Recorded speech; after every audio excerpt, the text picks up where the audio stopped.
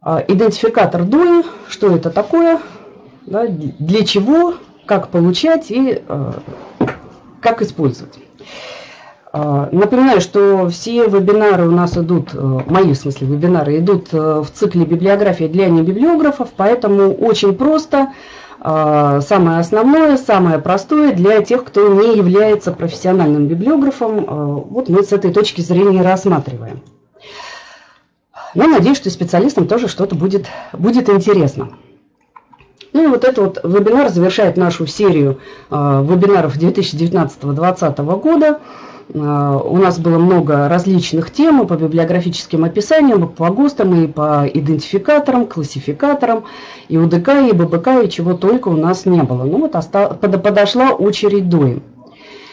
И э, сегодня мы вот этот последний присваиваемый публикациям индекс, индекс ДОИ, и познакомимся с ним. А, сразу э, стоит сказать, что ДОИ мы сами э, себе, сами своим статьям, конечно, не присваиваем, нам его присваивает то издание, то издательство, где мы публикуем свою работу. Если УДК или ББК нам говорят, э, очень часто сейчас при подаче рукописи в издание э, проиндексируйте свою статью, да, и мы, пользуясь классификатором, составляем этот самый индекс, куда потом наша статья, в какой раздел должна попасть. То с ДОИ так не получится, нам его просто присваивают. Поэтому здесь немножко можно расслабиться, здесь с одной стороны проще, с другой стороны э, сложнее. Да. А вот зачем, почему, как и кто его присваивает, ну вот с этим мы сегодня и разберемся, постараемся, по крайней мере, познакомиться. Ну и для начала немножко э, терминов, что такое DOI и что под чем подразумевается. А, DOI это и есть идентификатор цифрового объекта, а, по-русски сокращение ИЦУ, иногда в публикациях попадается, особенно в старых публикациях начала 2000-х годов. А, поэтому это, это одно и то же. Это такой перевод с английского языка. Это тот идентификатор, который позволяет нам всегда найти наш цифровой объект, э, будь то статья, книга, страница сайта и так далее, чем бы этот ресурс не был, цифровой, э, без привязки к адресу, к URL. Это удобно. Да, если у нас меняется адрес э, нашей публикации, то она у нас не пропадает.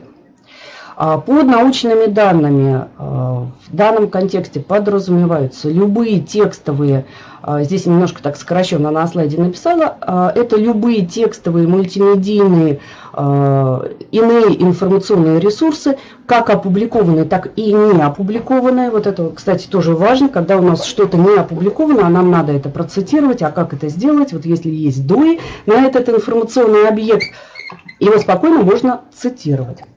Потом покажу сейчас как.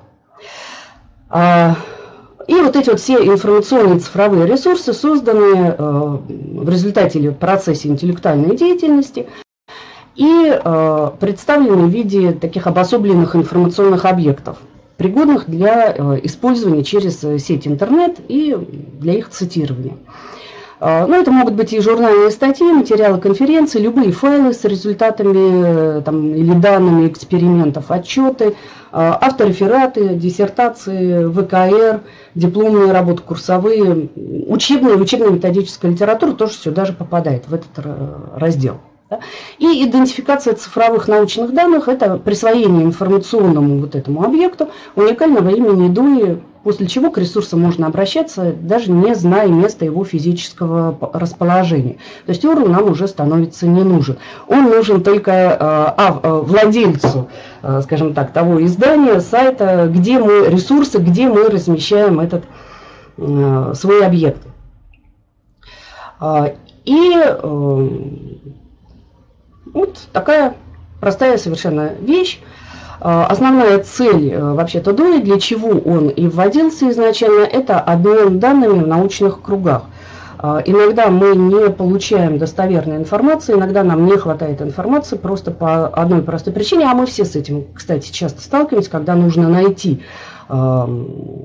источники по какой-либо теме, когда пишем свои статьи, то вот э, такой обмен данными иногда оказывается затрудненным. Ну, вот ДОИ был и создавался с такой целью организовать этот обмен данными в научных кругах, чтобы более упростить, скажем так. Да? Насколько это упростило, не знаю, но э, тем не менее эта вещь э, полезная.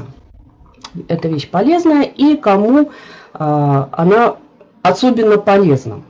А, ну, во-первых, для вузов, э, для вузов библиотек, если у них есть электронные библиотеки, есть репозитории, а, оцифрованные документы, ну, то есть созданные в цифровом виде какие-то ресурсы разных форматов, электронные версии печатных публикаций и так далее, там, а, журналы, материалы конференции, все это в оцифрованном виде. Для электронных библиотечных систем, естественно, да, для издательств то же самое – Э, на свою продукцию, присваивание ДУИ – это и статусная вещь, и не только.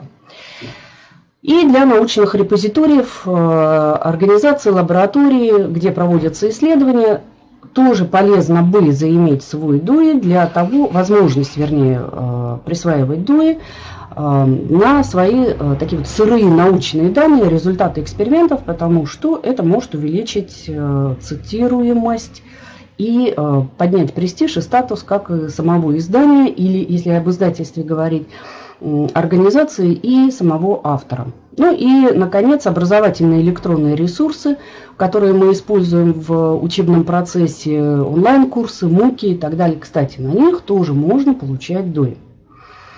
А, на конспекты лекций, на видеолекции, на различные э, иллюстративные материалы, даже на презентации, даже отдельные слайды презентации. На все это можно тоже, оказывается, получить доли.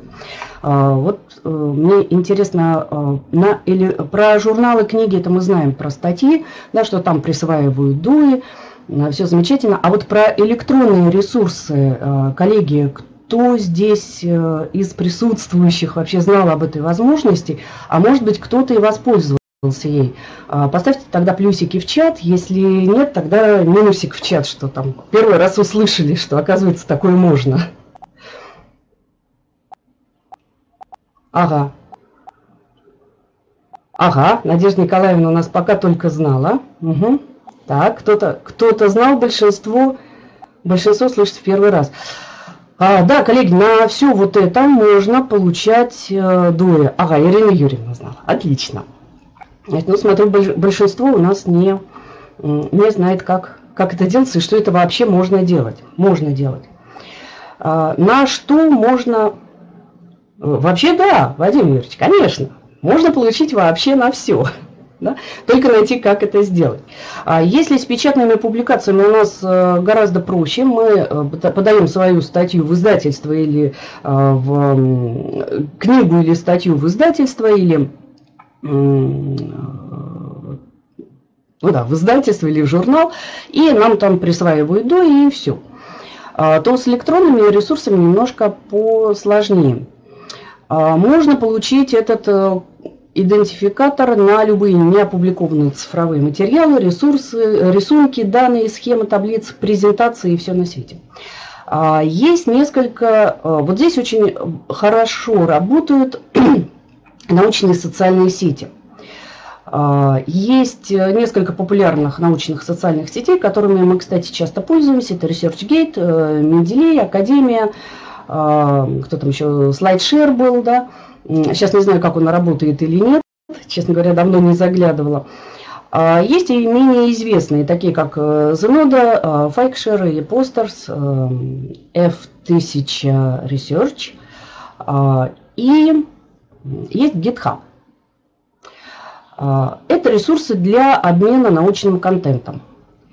И, э, естественно, так как они построены по принципу таких репозиториев, социальных сетей, и мы про эти репозитории говорили уже, а, по-моему, Корнельского университета мы несколько раз на вебинарах а, рассматривали, такую, э, такой репозиторий, где можно размещать припринты своих статей, э, черновики своих статей, получать обратную связь. Вот они как раз созданы для такого общения в научных кругах, сетевого общения.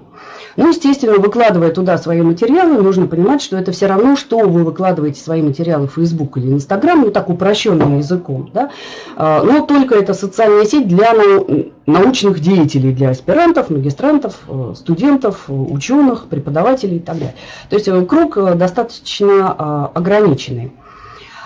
А, поэтому здесь э, имейте в виду, что да, есть, есть некие риски. Поэтому все, что связано там, с секретностью государственной и коммерческой тайны или касается э, персональных данных, ну, здесь, здесь очень-очень осторожно к этому относитесь. Естественно, что не все может туда выкладывать. Но с другой стороны, э, совсем без взаимодействия, без контактов мы тоже существовать не можем да, и хорошо бы получать обратную связь э, на ход своей работы, а не уже на результат.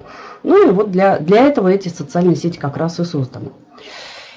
И э, среди этих э, социальных сетей есть несколько, которые имеют право э, присваивать дуи за счет того, что они сотрудничают э, с GitHub, а это сервис для, создавался как сервис для программистов для организации э, командной такой совместной работы. Ну вот, э, да, Ирина Евгеньевна, сейчас, сейчас дам, сейчас все будет. И вот несколько таких сервисов, я вам сейчас про, очень коротко про эти три, это прям тем, отдельная тема, наверное, вебинара, если будет интересно, тогда в новом году мы про соцсети прям отдельно, может быть, вебинары сделаем. А, и очень коротко, научные э, социальные сети, э, кто присваивает дуи. Зенода, так, сейчас я на него прям ссылочку еще в чат. Э, ссылки есть на самом слайде, презентацию можно скачать из вкладки «Ресурсы». Ну и по ходу ссылочки я вам сейчас в чат тоже размещу. Zenodo это, да, вот что-то вроде такой вот социальной сети, репозиторий, который позволяет делиться любыми своими документами с присвоением им индекса идентификатора DOI. Это одна из самых популярных, кстати, научных сетей за границей. Очень э, много и часто ей пользуются. И при размещении материалов там, им уже на серверах Zenodo, им как раз и присваивается идентификатор DOI.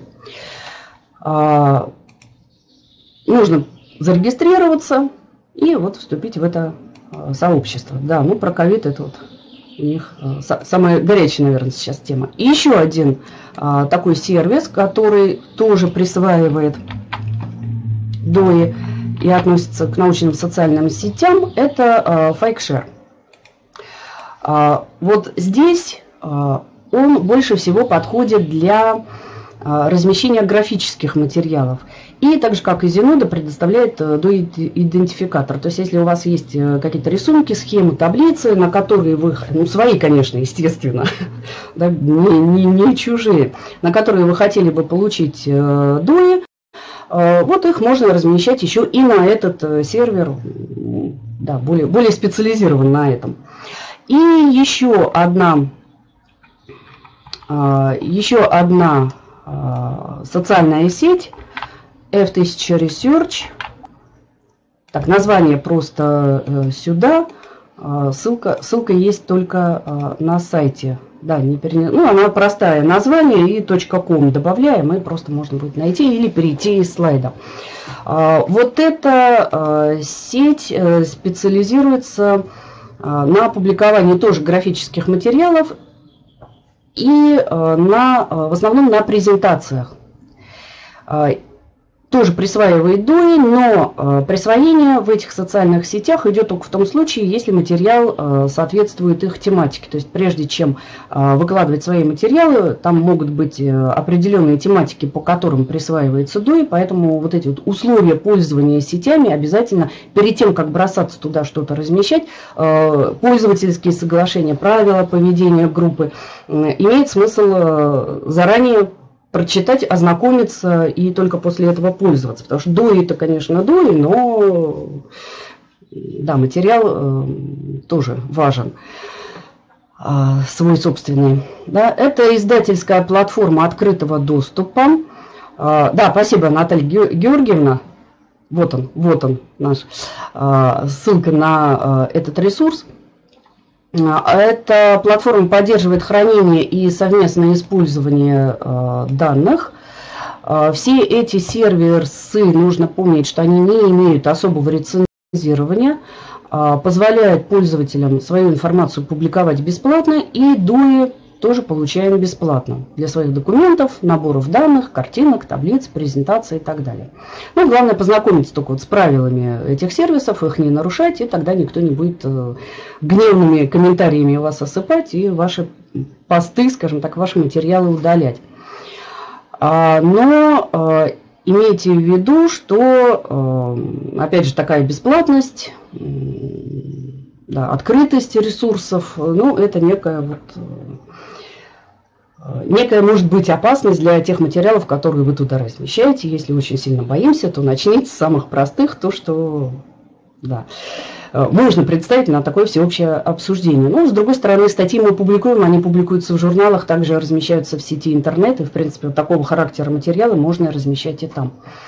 А обязательно ли указывать э, ДОИ при публикации? Ирина Юрьевна, если вы э, ссылаетесь на материал, имеющий ДОИ, то да, указываем, а, если это касается ссылок. А, вот о чем идет и речь, что вот эта вот э, вещь, она позволяет, использование вот этих э, сервисов, она позволяет, например, если мы вставляем какую-то свою разработанную нами табличку или схему, или э, презентацию, или видеолекцию, вот, созданную нами наша является нашим продуктом, и на него есть доли, то мы вот, вот этот источник уже можем ставить в список использованных источников как, как источник. Да? А не просто указать ссылкой в подстрочнике или да, э, э, э, пока нет до это вот вроде бы не опубликованный материал. Ну, вот так вот неопубликованные материалы можно перевести в разряд цитируемых источников и списки своей литературы вот туда их добавлять. Да? Ну, достаточно удобно, опять же, самоцитирование. Почему нет? ну, это, конечно, хорошо, все, но имейте в виду, что все-таки это социальные сети. И э, вот для чего еще, кстати, используются вот эти ресурсы, э, ссылки на социальные сети, вообще там в Фейсбуке и прочее, э, в научном мире, ну, как считается, не камильфо. Да, и в публикации могут или отказать, или попросить из списка источников эти данные вынести. А вот поэтому возникли вот эти ресурсы, которые позволяют, с одной стороны, обмениваться данными и получать обратную связь в ходе работы, и в то же время, э, имея долю, вносить их в список источников. Э, и GitHub. GitHub, он связан с этими ресурсами, это крупнейший веб-сервис для хостинга IT-проектов, э, совместной разработки. Там огромное количество пользователей, миллионы в месяц, посетителей и прочее. И э, он расширяет свои сферы деятельности. И в 2014 году, с 2014 года у них существует вот эта возможность любому своему репозиторию присваивать идентификатор DOI. На GitHub размещаются в основном, э, его используют программисты, туда размещают программные коды, скрипты и всякая прочая информация, вот, связанная с разработками. Я, я не разработчик, поэтому за точность терминов не ручаюсь. Но если э, у вас есть какой-то код, который вы написали, и вы хотите на него получить дои, а не сохранить где-то у себя в копилочке в закрытом виде, да, но все равно посмотрят, все равно возьмут, все равно найдут то это можно сделать и вот через эти сервисы. А, либо размещая на самом GitHub, либо воспользовавшись одним из этих сервисов, очень тесно они работают э, с Dino года. То есть, ну, вот, с одной стороны, для информатов, для э, разработчиков, программистов, ну, такая хорошая новость. На, на эти коды тоже можно получить DOI. И тогда, вставляя этот код, например, в свою статью, которую вы публикуете, или кусочек кода, вы на него можете давать уже ссылаться как на источник не опубликованный и включать его в список своих источников. Ну, вот такая вот есть э, вещь. Ну, опять же, обращайте внимание, есть разные тарифные планы. А, вот GitHub, э, он не бесплатная вещь. А, но у них есть льготный тарифный план для ученых-студентов. А, и если регистрировать, вот такая тоже хитрость, аккаунт не на личный адрес, а на академический mail, то можно запросить бесплатный тариф. А, там для индивидуальных пользователей, по-моему, можно 5 репозиториев приватных, а для организации можно до 20 приватных таких репозиториев открывать. Но опять же, прежде чем пользоваться вот этими э, ресурсами, особенно оставлять адрес свой академический адрес, своей организации, э, лучше все-таки согласовать это со своим руководством, да, чтобы не было потом никаких вопросов. Потому что GitHub на самом деле в, плане безопасности со стороны самих разработчиков, программистов, ну, есть разные, разные мнения. Ну, это скорее уже тема отдельного, отдельного вебинара. Мы говорим просто про DUI. Ну, если вот есть такая возможность, и вы все равно эти данные будете публиковать, то вот можно сделать вот так. Ну и официальный э, блог э, GitHub, где про эту возможность говорилось. Э, посмотрите подробнее, я вам тоже вот эту вот ссылочку на эту информацию дам. Можно будет посмотреть поподробнее.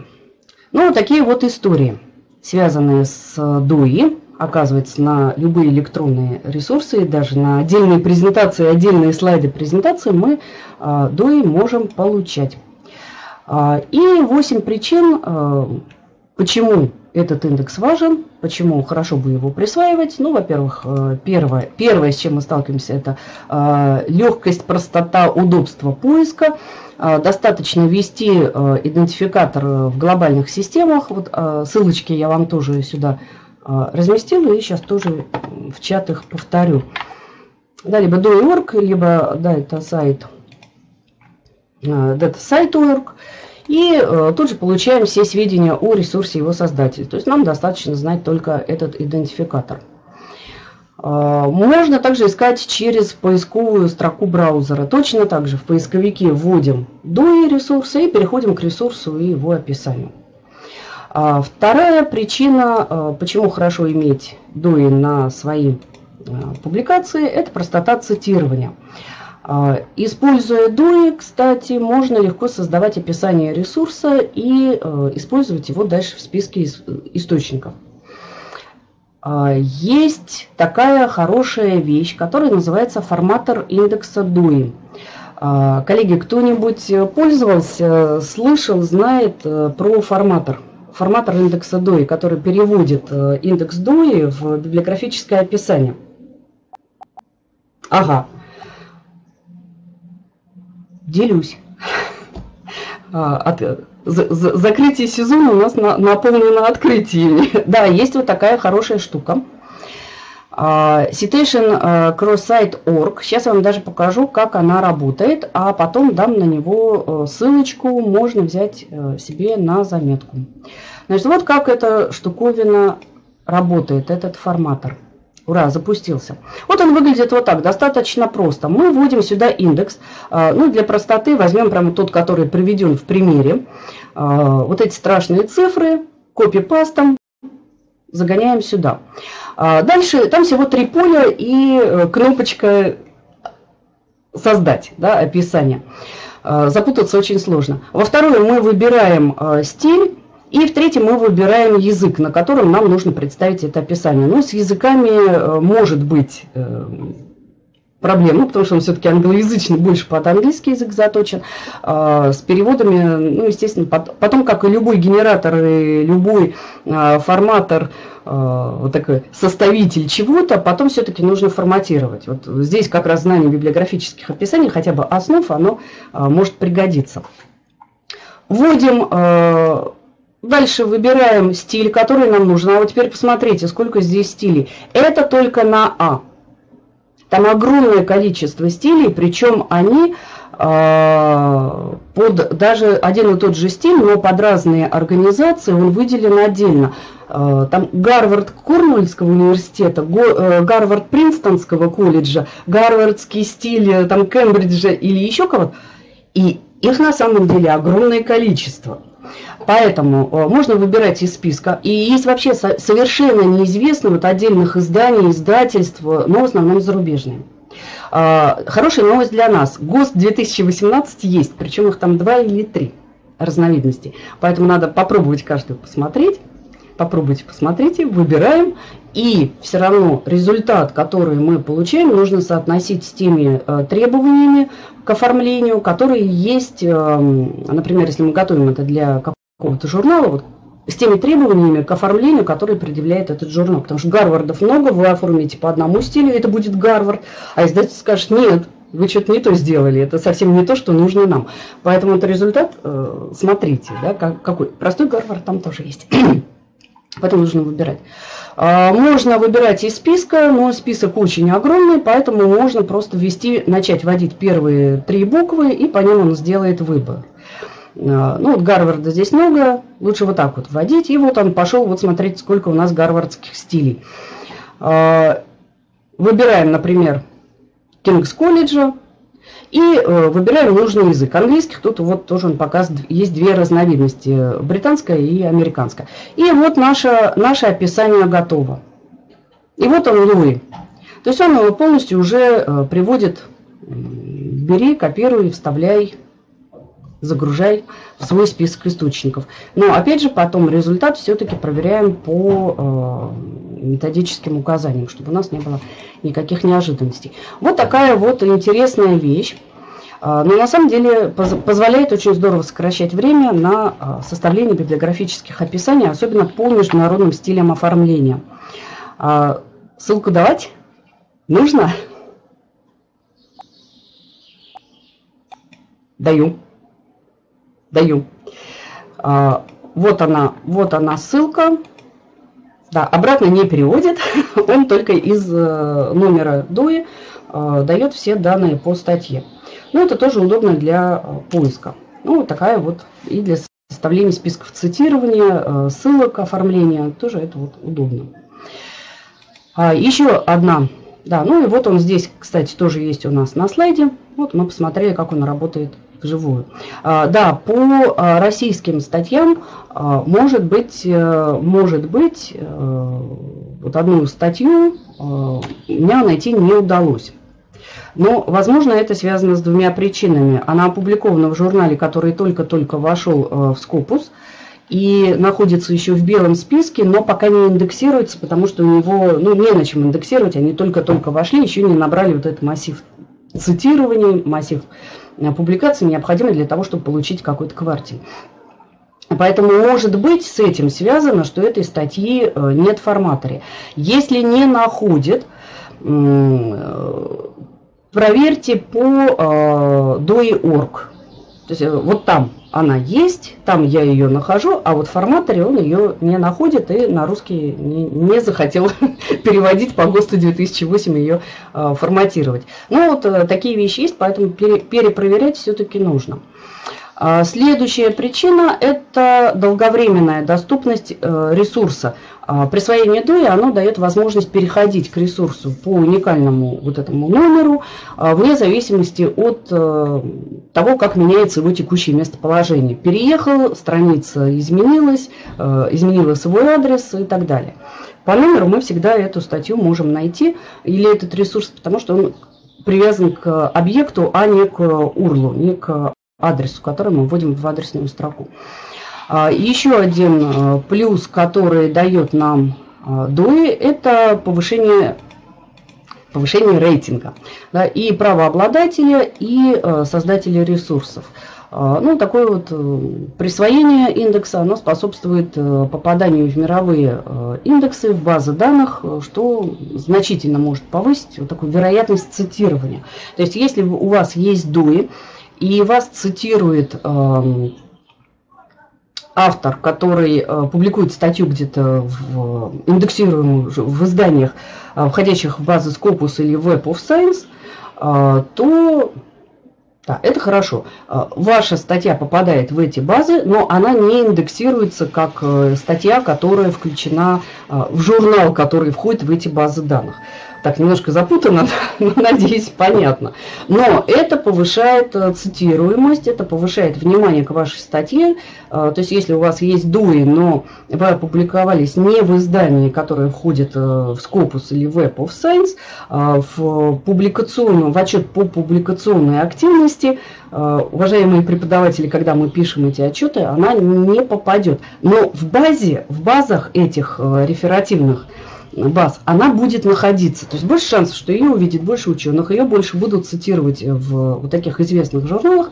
И вот сами э, члены DataSite э, подтверждают, что где-то примерно в два раза увеличивается цитируемость э, после присвоения ДОИ публикации.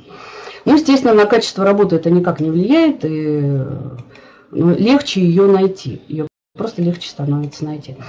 А, статус ресурса. А, вот наличие такого доли показывает, что он а, для цитирования подготовлен, подготовлен для использования в других публикациях, научных работах. И вот сейчас пошла такая тенденция, вот был у нас вопрос – а, во вкладке «Вопрос» я видела, а, нет, э, где-то здесь в общем, э, в общем чате у нас был вопрос по поводу «надо, не надо».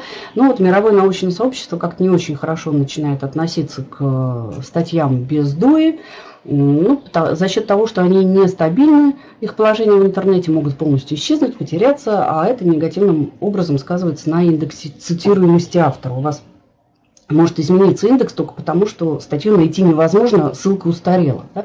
Ну и этот э, момент позволяет, позволяет убрать. Ну и э, фиксация авторства и новизны.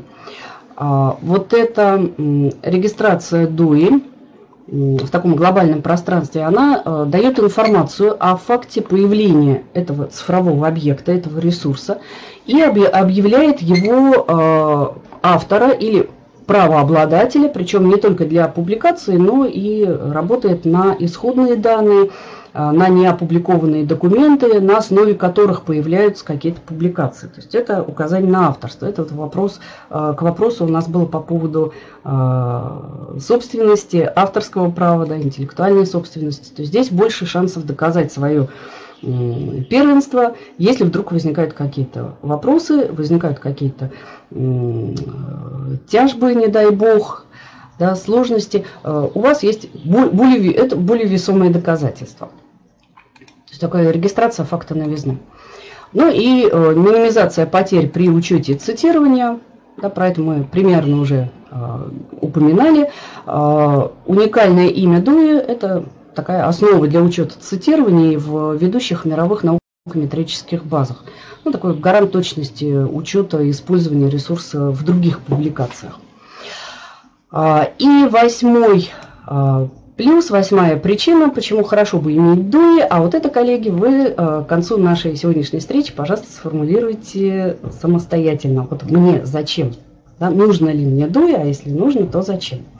Для чего? Вот это будет ваша, ваша, наша, наша и ваша восьмая э, причина. И немножко о том, э, как это устроено. Э, инфраструктура DOI. Ну, для начала немножечко цифр. Он присваивается с 2000 года. Э, Началась история в 1998 году при участии крупных международных издателей, э, там Джон Велли и Санс, и многие-многие другие. Вот был создан такой международный фонд DUI, International DUI Foundation, IDF. И э, через два года уже началась регистрация первых э, идентификаторов для научных статей.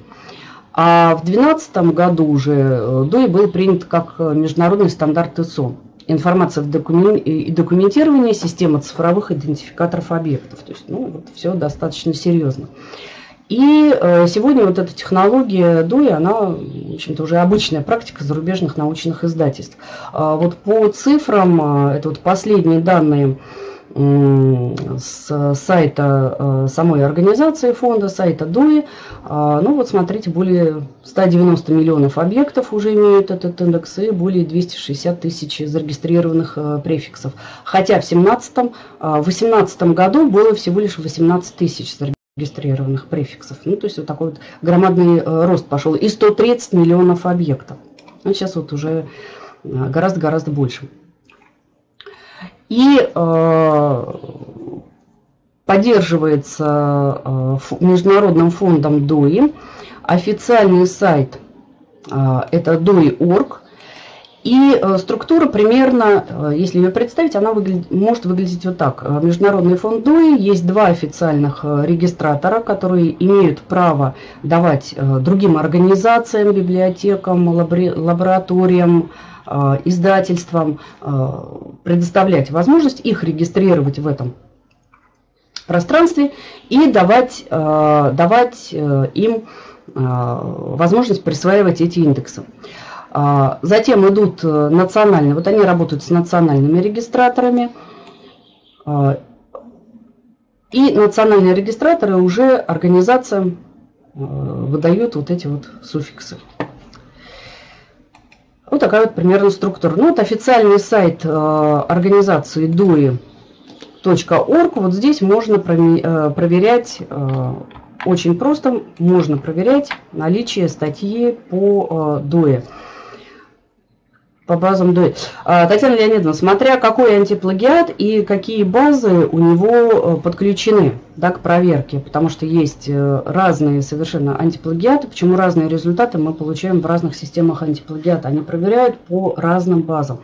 А, это по базам DOE, ну такой единый как бы как Scopus или Web of Science э, базы нет, это как э, гиперссылка. Естественно, переходя по DOE, он может либо найти, либо не найти эту статью. Она просто указывает путь. Это как э, короткая такая вот гиперссылка, которая привязывается только не к адресу сайта, а привязывается к самому файлу. Вот если более понятно, чтобы объяснить, да. А, и, конечно, при проверке, когда идет обработка да, материалов. Вот мы даем ссылку, указываем доли. Он, например, переходя по э, урлу, может не найти эту статью, а переходя по доле, он эту статью найти может. Ну, смотря, смотря как, как что подключено. Да? В разных антиплагиатах по-разному. Конечно, будет искать. И э, ну, здесь, здесь достаточно э, просто вот если есть сомнения по поводу какой-то статьи, есть вопросы, там форматоре, например, показывает, что нет такой статьи, заходим на doi.org, вводим вот сюда в поисковую э, строку и получаем результат, есть эта статья или нет. Да, левые DOI иногда присваивают, бывает такое. Э, так же, как и левые рейтинги делают, да, о, чем, о чем еще Джеффри Билл говорил в начале 2000-х. И... Э, Все дуи доступны для поиска э, вот именно на этом сайте. Все дуи, которые, которые только есть. А, два основных регистратора, два агентства, которые работают с национальными регистраторами и дальше уже с э, организациями, это DataSite и Crossref. А, вот на них доступны для поиска только те ресурсы, дуи которым назначало именно данное агентство. Поэтому там немножко сокращенный поиск. А все-все-все, вот оно аккумулируется именно на doi.org. А там они только показывают э, те, э, те статьи, на которые они выдавали, которые они регистрировали. Ну вот Crossref это официальный регистратор с двух, уже 20 лет, э, зарегистрирован в США. Некоммерческая организация существует на ежегодные взносы участников организаций. И э, взносы разные в зависимости от размера организации. Э, поэтому самостоятельно, конечно, не являясь издательством или изданием, или библиотекой, или организацией, да, зарегистрировать вот так вот не получится. Для этого вот как раз э, научные э, вот эти социальные сети создавались. А, вторая организация, которая участвует в этом процессе, это DataSite ассоциация или э, международная ассоциация, дата-сайт, а, вот она присваивает, э, тоже занимается присвоением дуи, и э, да, точно так же работает с национальными агрегаторами, с национальными организациями, которые предоставляют вот возможность для регистрации ДУИ. Кто еще может выдавать этот номер? А, ну вот, например, а, Медра. Это тоже а, орган, который регистрирует, организация, которая регистрирует ДУИ.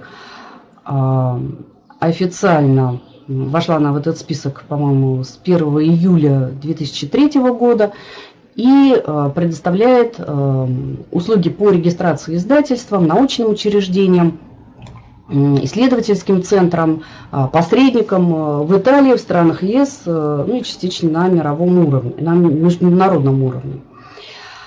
И много То есть это уже вот такой переход на национальный уровень. А, цифровая библиотека Калифорнии, университет Тарту, Национальная научно-техническая библиотека Германии, а, Гарвардского университета, а, Британская библиотека, Технологический университет Цюриха. И таких вот регистраторов достаточно много.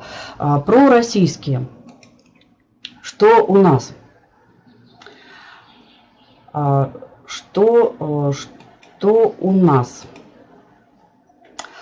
А, у нас а, на икон. Вот Национальный центр ИДУИ предоставляет услуги по а, предоставлению ДУИ на основе заключенных договоров. И есть сервисы для регистрации, для разных видов, типов ресурсов, консульти... есть, проводят консультирование, обучение. Ну, вот это вот задача на национальных центров. У нас есть Национальный электронный информационный консорциум НЕИКОН, а, который является официальным партнером а, Crossref в России и имеет э, полномочия, возможность предоставлять интересы и проводить оплату цифровых идентификаторов, а, работать с организациями. Ну, более подробно с этими условиями можно познакомиться на самом сайте Наикона. Еще один из центров, который может присваивать ДОИ, это Национальный э, Центр идентификации научных данных. Это Санкт-Петербургский а, политехнический университет Петра Великого. Вот они в 2016 году э, вступили в Международную ассоциацию DataSite и э, стали ну, таким представителем в России. А, то есть это э, те национальные центры, которые могут присваивать, вернее, выдавать разрешение, скажем так, организациям, учреждениям, издательствам а, присваивать индексы, и они э, выступают таким посредником, решают все вопросы а, по взаимодействию с DataSite, Crossref и Международным центром ДОИ. Так, там статьи не только англоязычные. Это я смотрю вопрос. Елена Вячеславовна не совсем поняла по поводу англоязычных статей, где там. Там везде не только англоязычные. А, что в изданиях, что в форматоре, да, что в сервисах, вот этих э, в научных соцсетях. Ну, конечно, предпочтение все-таки отдается англоязычным, но почему нет? А не многовато ли, а, Елена Вячеславовна не поняла, кого, кого чего не многовато, центров, но они очень жестко структурированы, поэтому мы сами а, да, для, для того, чтобы удовлетворить эту потребность в таком массовом присвоении дури, а, нет, один международный, а, два вот этих основных, Crossref Data Site, а дальше идут уже национальные центры, то есть там жесткая такая структура и иерархия. Да, ну, хотя может какая-нибудь библиотека или организация напрямую заключить с Crossref, но там вопрос уже идет э, цен и да, для организации, да, да. И для, например, издания, которые издаются, если есть издательство, например, в том же политехе, да, оно издает свои сборники, оно может присваивать дуи. Э, мы публикуемся там, мы получаем дуи. А, только с организациями, потому что, э, ну, не являясь организацией, там очень сложная система вот сохранения вот этой, а, это, это же не просто получил номер и все, а кто будет следить, если у нас меняется URL, а кто будет следить, если у нас изменяется страница сайта, а кто будет следить за тем, чтобы она не изменялась, мы сами за своими публикациями вот так следить будем, наверное, нет. Поэтому создаются националь, национальные центры. Э, центры издательств, они обязаны информировать. Там целая история, если посмотреть, э, какие требования предъявляются по работе с ДОИ. Вот, вот для, для них э, легче, пусть они присвоят, а я его просто получу как пользователь. Ну и вопрос ценовой, конечно. Это все не дешевое удовольствие, и это делается не бесплатно. То есть сами организации могут предоставлять бесплатные, бесплатно присваивать вот это ДОИ, а могут и брать за это деньги. Ну, некоторые издательства, они включают, например, стоимость э, вот этого индекса э, в стоимость публикации, поэтому иногда цены могут кардинально так и очень хорошо меняться. Да? А, поэтому, да, лучше, лучше пользоваться теми возможностями, которые, которые нам предоставляются. Кстати, одна из таких возможностей, хорошая э, новость для авторов, э, Direct Media, издательство Direct Media – с 2017 года, прямо даже информация прошла, дату точно помню, 18 января, получила такую возможность присваивать изданиям электронной библиотечной системы идентификатор DOI. То есть вот это вот, вот здесь это делается бесплатно. И даже для студенческих работ, вот, например, которые участвовали в конкурсе, а у нас ежегодно проходит конкурс э, студенческих работ, ВКР, э, курсовые работы, вот для них тоже присваивали э, ДОИ. Значит, как это можно получить? И вот здесь можно его получить бесплатно на свою публикацию. Префикс издательства я, я вам сразу привожу, можно проверить, он есть. Ну, всего три шага. Готовим материал, узнаем условия, связываемся с менеджером, передаем материалы и получаем публикацию, плюс э, все вот эти вот индексации у нас есть. И и УДК, ББК, и СБН, и ДУИ. Ну, в ДУИ иногда сравнивают с ИСБН, как уникальный номер книги, также и уникальный номер для цифровых объектов, это ДУИ. Ну, такая возможность сейчас э, в Direct Media есть. Как это можно сделать для э, тех, кому это интересно, нужно. И, а, да, кстати, презентацию в PDF-файле тоже можно выложить, а, опубликовать э, в Direct Media как учебный материал, например. Да, и также они попадут в электронную библиотечную систему, в университетскую библиотеку а, и с присвоением номера ДОИ. Вот это, это не только на зарубежных сайтах, но и наши тоже, кстати, могут это делать. А, значит, коллеги, если кому-то интересно, сейчас я размещу вам сейчас ссылочку сюда а, в чат а, на страничку с условиями для авторов, можно посмотреть там и напрямую связаться с менеджером проекта, если кому-то кого-то заинтересует, вы мне во вкладку вопросы напишите, я вам просто тогда почту, почтовый адрес дам, и можно будет уже напрямую лично с ней пообщаться, как подать материалы, а, как опубликовать свою книгу и так далее. И даже конспект лекции или а, какую-то методичку, вполне стать, сборник статей студенческих, например, у нас некоторые преподаватели так э, публиковали статьи, получали и ДОИ, и э, нормальную ДК, ББК и СБН, э, сборник студенческих статей. Почему нет? А, ну и где-то вся, весь этот э, цикл э, проходит полтора, там месяц-полтора. И все, вы счастливый обладатель публикации со всеми индексами. А, Наталья Георгиевна, для а, подписчиков э, это точно, да. Для не подписчиков лучше связаться с менеджером и уточнить у нее этот вопрос. Вот для не подписчиков э, ЭБС э, лучше лично с менеджером поговорить, а может быть, может быть и да. Изда, издаемся. Мы не, не читатели, мы как писатели в этом случае выступаем. Но такая возможность есть. Э, напишите просто, узнайте, задайте вопрос. Может быть, что-то может все меняться каждый день, поэтому раньше можно было. И по структуре DOI, из чего он состоит, как он выглядит – Здесь три основные части. Есть доменное имя, вот то, что пишет http doi.org, это вот э, домен. Да, это имя. Э, это мы не трогаем. Сам номер. И когда мы в поисковики вводим, мы его не вводим. Мы вводим только вот то, что касается цифр и букв после э, косой черты. Вот она наша любимая слэш, наша любимая косая черта, которая у нас в описаниях э, постоянно попадается, она используется и здесь.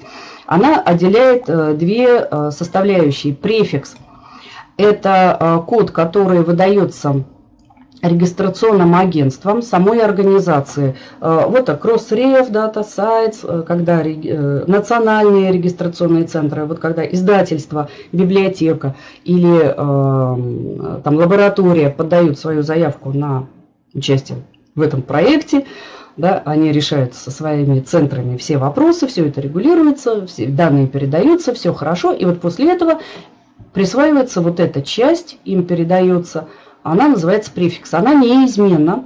А, каждая вот эта часть обозначает отдельную организацию, а, скажем так, самого линейного низшего уровня, да, а, которая имеет право выдавать дури. Ну, так же, как вот здесь у нас было, да, вот префикс Direct Media, он вот такой вот. Это то, что пишется в начале. А дальше идет э, суффикс. Это код э, самого объекта э, среди других этой организации. А, э, это, это уже присваивается самой организации, и они могут быть разные. Здесь могут быть слова, как вот здесь, могут быть просто цифры, но в них тоже зашифрована э, информация. А, часто сюда записывается название э, журнала или какое-то обозначение журнала или темы. А, чаще всего издание. Дальше идет год, дальше идет месяц, номер или там, дата, э, да, вот 23 2 и э, номер самой статьи, под которой она шифруется. Да, то есть здесь вот можно смотреть, ну вот это вот часто, очень ча чаще всего используется э, указание на год, а дальше уже по-разному записывается. Может через точки, могут э, через, э, записывать через дефис, могут записывать вообще слитно. Но чаще всего указывается год, месяц, э, дата издания или номер и или номер выпуска. И самое последнее это э, сам вот код самой статьи. То есть вот такую вот кодировку тоже можно э, прочитать. А, нету, Надежда Николаевна, это не мы составляем, это все составляет издательство. Может быть, у них внутреннее что-то есть, до этого я еще не, не, не, не добралась, да, как, как там у них они это генерируют. А, но, может быть, и доберусь. А, то есть это, это присваивает только издательство, это не мы, не авторы делаем. Мы этим только пользуемся. Нам просто выдают и говорят, ваш номер вот такой-то ДОИ. Все, мы его берем, используем. А, Елена Вячеславовна спрашивает, а как в БО указывать э, ДОИ, как в источнике или есть общие рекомендации? Значит, как указывается в библиографическом а, описании ДОИ, где оно а, встречается? Э, значит, здесь даже у нас беда, с которой мы часто сталкиваемся. Вот, вот здесь нет единого правила, что сначала, как, как у нас в аналитических описаниях, библиографических описаниях идет, да, сначала указываем год, потом дату, да, но если есть, э, или э, для журналов год, номер, дальше страницы и так далее. Здесь такого нет. Вот вы видите, кто, кто во что гораст, а название вообще может не быть, могут быть вообще одни цифры, поэтому указываем так, как оно есть. Вот как присвоен номер, ровно так его указываем. Иначе мы просто не сможем найти статью, если будем что-то менять. В номере ничего не меняем. Вот как он есть, так и указываем. Как в источнике, Елена Вячеславовна. Ничего не трогаем в самом номере. Это как в коде что-то поправить или в адресной строке попробуйте изменить э, адрес, да, вы не найдете. На поиск это никак не повлияет, потому что вот это вот, это и есть как бы ссылка на сам документ, только привязанная к самому документу. И она должна воспроизводиться ровно так и писаться и указываться ровно так, как она здесь указана. Вот в этом мы ничего не трогаем. Вот как написано, так и написано. Единственное, что точно есть, вот этот самый слэш, который отделяет префикс от э, вот этого суффикса, да, вот эти две части разделяет. Вот это обязательно должно быть. А здесь уже может быть по-разному. Здесь, э, да, как есть, так и пишем. Э, кстати, о библиографических описаниях. Куда мы указываем дои? Он, он относится сейчас уже по ГОСТу 2018. Это область идентификатора ресурса и условий доступности. Вот сюда вносятся э, все э, обозначения производителей ресурса, которые они дают, номера различных госрегистраций, ИСБН и прочее, и ДОИ. Вот оно входит сюда. А, вот здесь на слайде я вам написала, э, так, сейчас напишу 5 э, в новом ГОСТе, это пункт э, 5.9 так, 5, 9, что у нас там, 3, 1. А, это вот пункт в новом ГОСТе 2018, где про эту область идет речь и упоминается ДОИ, ну так, чтобы можно было посмотреть э, в нашем основном документе. А, где э, место ДОИ в библиографическом описании, например, статьи из электронного журнала? А, он ставится вот сюда – вот здесь, а, перед, перед, э, перед текстом. Да, и потом у нас идет уже URL. То есть вот в начало, в начало у нас вот сюда выносится дуэм. Потому что он относится к самой статье, и его ставят, ставят вот сюда. И э, по э, дуи, скопусу, восу и ринцу. Вот эти вот базы, в которые и урлу, и дуи, да, Елена Вячеславовна, указывается и урл, и дуи, если, если есть и то, и другое.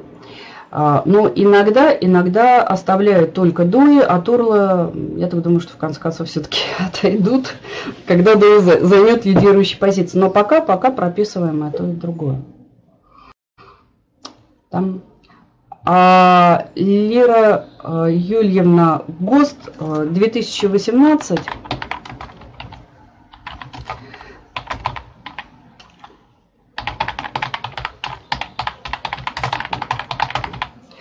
Ключевое слово – библиографическое описание. В поисковик, если будете вводить, то вот ГОСТ 2018 – библиографическое описание.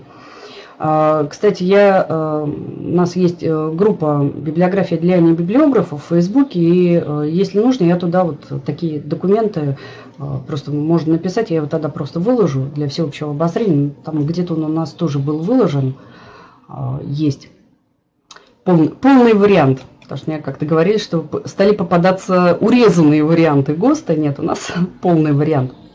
Поэтому, если не найдете, к нам в группу приходите, я его тогда туда э, выложу, можно будет скачать и забрать. И э, дуи индексирования в этих э, реферативных базах. А, всегда ли наличие дуи автоматически говорит о том, что наша статья индексируется в этих базах данных? Нет, не всегда. Но обратное верно. Э, статьи и э, в журналах, которые индексируются в базах данных, они, как правило, теперь есть такой, им уже присваивается э, в обязательном, можно сказать, порядке, хотя это добровольное, как бы, но нет ничего более добровольного, чем обязательное. В обязательном порядке им присваивается DOI. То есть, если она есть в скопусе Web of Science или в RINCE, то DOI у них, скорее всего, точно будет. А вот наоборот, это не работает. Если есть DOI, это не значит, что статья есть в этих базах данных. Э, вернее, она индексируется и отслеживается. Ну вот, например, есть статья Елены э, Ивановны Григорьевой. У нее есть э, ДОИ. Вот оно.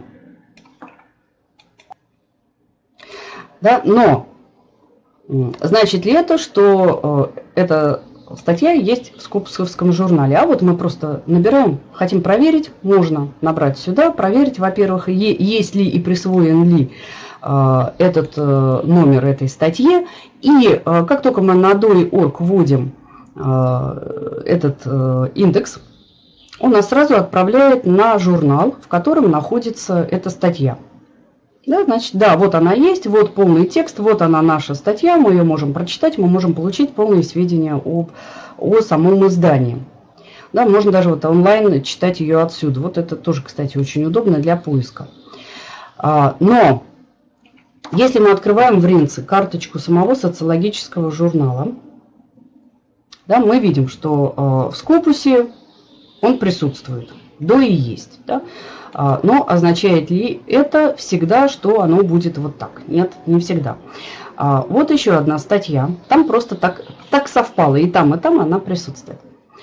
А, вот еще одна статья. Статья в журнале «Дифференциальные уравнения».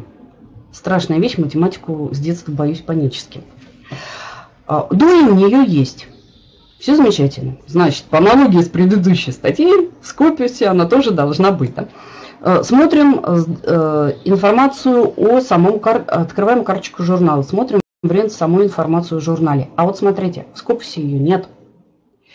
Э, этого журнала. Значит, эта статья, э, имея даже дуи, она в Скопусе не э, индексируется. И в зачет преподавателю публикационной активности, как публикация в Скопусе, она не пойдет. Хотя, если эту статью по дуи найдет кто-то из ученых, да, авторов, который пишет статью в скопусовское издание, он ее опубликует, даст ссылку на эту статью, а, то а, вот эта статья, она попадет в скопусовскую базу, но там есть отдельный кусочек, да, отдельная коллекция для вот таких вот статей, которые имеют дуи, которые цитируются, а, вот там оно будет учитываться, но она не засчитывается как скопусовская публикация. Вот эта статья нашего автора, как скопусовская публикация, она не пойдет. Но в базе скопуса она будет. Ну, вот, вот, вот такая вот интересная штука. А вот теперь смотрите, коллеги, какая есть еще интересная вещь. Когда э, вы собираетесь размещать э, статью э, в журнале, который присваивает ДУИ, кстати, эта информация должна быть на сайте издательства, вот почему еще очень удобно. Зная, например, префикс, э, можно найти само издание и вообще посмотреть оно как да, скопусовское, не скопусовское, получить всю информацию, либо через РИНС. А вот смотрите, вот этот журнал – а, чтобы попасть точно в скопусовские издания, раз уж мы про э, публикации заговорили. Вот этот журнал русскоязычный, в скопусе его нет, но у него есть переводная версия. Вот обращайте внимание, есть ли переводные версии одного и того же журнала. На карточке журнала в РИНС это легко увидеть. И вот тогда, перейдя на а, карточку переводной версии, смотрите, какая чудесная вещь. А вот это издание полностью аналогично, но на английском языке. Оно уже скопусовское. Вот если автор потрудится перевести статью на английский язык и опубликует ее в том же журнале, но в переводной версии, а не в оригинальной, то у него уже будет скопусовская публикация. Поэтому, выбирая место для публикации, обращайте на это внимание. И ровно так же, когда вы, э, например, э, по DOI находите какую-то статью, выходите через DOI.org на сайт этого издания, смотрите, а, является ли оно скопусовским. А сейчас э, с преподавателей все чаще требуют скопусовские, ВОСовские издания, да, публикации. Вот это тоже вот такая маленькая фишка, которую мы иногда забываем смотреть переводные версии. Они как раз могут оказаться скопусовские. А, ну и на какие объекты а, можно получить э, дуи. Ну вот они, вот они здесь, э, примерный список, он а, перечислен, на, на что можно получить дуи, воспользовавшись одним из способов. А способов у нас мы рассмотрели сегодня несколько. Это и через, публикуясь в изданиях, которые имеют право присваивать дуи, это через организации, это используя возможности, а, например, издательств, таких как или электронных библиотечных систем, таких как э, Direct Media, либо через научные социальные сети. Да, ну, вот несколько вариантов, и это еще, конечно, не все, но вот самые основные, как можно получить дуэ. Ну и Последний вопрос, да, восьмая причина присвоить индекс ДОИ. Э, требовать написать в чат не буду. Я понимаю, что можно подумать, кто хочет, может написать, э, нужно ли вам ДОИ, и если нужно, то вот какова эта восьмая волшебная причина для вас, э, зачем он вам нужен и зачем мы им будем пользоваться. Если затрудняемся, можно будет потом написать, поделиться своими ощущениями. Библиограф, э, читатель, автор, э, прямая связь читателей с автором с его научной работой. Да, а почему знак вопроса, Ирина Юрьевна? Конечно. Без него теперь никак, Вадим Юрьевич. Пока еще местами э, можно, да? Э, но, скорее всего, вот эта вот добровольность, она переходит в разряд обязательности. Ну, начинают изменять требования к самим изданиям, издания начинают изменяться под это, и мы, конечно, Э, нам приходится этому тоже соответствовать как авторам. Ага, отлично. И, коллеги, э, мы сейчас с вами подошли уже к завершению нашей сегодняшней встречи. Э, ссылки на... Был вопрос, как найти в Фейсбуке. Сейчас я вам дам две ссылки на группу в Фейсбуке «Библиография для небиблиографов» и для тех, кому интересно получение ДУИ – это ссылка на Директ Медиа, да, на страничку сайта, где можно узнать об условиях, связаться, найти контакты. А, в Фейсбуке меня найти легко, по имени, фамилии можно, а, можно можно набрать, а можно просто вот зайти в группу, и там мы уже находимся. Там уже находимся. И, коллеги, пока не расходимся, я сейчас э, пока буду готовить ваши сертификаты и вам их выдавать, так как я сегодня един во всех лицах, начиная от техподдержки, заканчивая организационными вопросами. А, ой, Надежда Николаевна, и не говорите. А, я вам сейчас открою один слайдик и попрошу вас а, просто в чат выбрать темы и скажу, чего с ним сделать.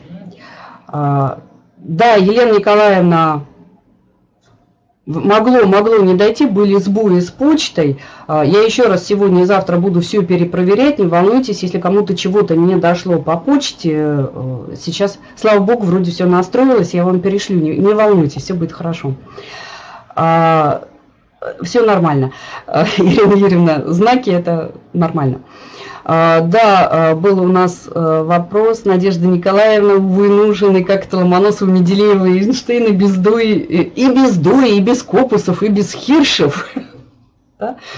Ну, вот, вот так. Ну, что, что делать, коллеги? Если, если такова ситуация, надо как-то к ней учиться приспосабливаться, да, но, но не переставать быть Менделеевыми. И, коллеги, один маленький одна маленькая просьба. А, вот это темы. Вот слайд я вам сейчас открываю. Здесь 15 тем. Это 15 вебинаров, которые у нас а, прошли в серии библиографии для небиблиографов в этом а, году. Я вас попрошу сделать одну простую вещь. Пока я делаю вам сертификаты, выдаю, посмотрите, пожалуйста, эти темы. И поставьте прям номера через запятую номера тем, а, которые наиболее интересны или которые, на которые хотелось бы послушать в следующем году. Естественно, там что, что-то будет меняться, не совсем уж прям вот одно и то же. То есть те темы, которые вам более интересны, на, о которых хотелось бы, а, чтобы были вебинары а, в следующем учебном году. Если есть что-то свое, свои пожелания, тоже, пожалуйста, напишите в чат. Для меня это очень важно, потому что ну, мне хочется, чтобы это было максимально полезно для вас. Да? Не, не только интересно, но и полезно, и удовлетворяло ваши какие-то вот вопросы, запросы и потребности. А, только тему, пожалуйста, пишите через запятую, потому что у нас есть двузначные, да, есть э, из двух цифр и из одной цифры. Между ними просто запятую поставить, чтобы мне легче было ориентироваться. Ага, а я сейчас на секундочку удаляюсь для выдачи вам сертификатов. Без сертификатов у нас сегодня никто не уйдет. Без выданных.